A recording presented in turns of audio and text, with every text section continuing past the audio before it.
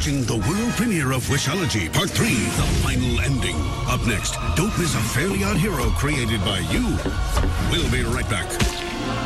You're watching the world premiere of Wishology Part 3, The Final Ending. Here's a Fairly Odd Hero created by Sarah.